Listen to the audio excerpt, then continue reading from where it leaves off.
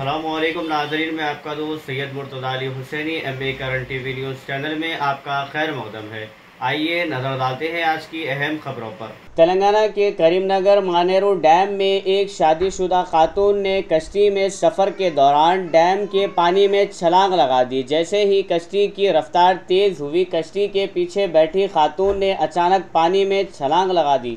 جس پر ایک چوکس بوٹ ڈائیور نے خاتون کو بچانے کے لیے لائف جیکٹ پھینک دی۔ خاتون کو پانی سے بچا کر پولیس کے حوالے کر دیا گیا۔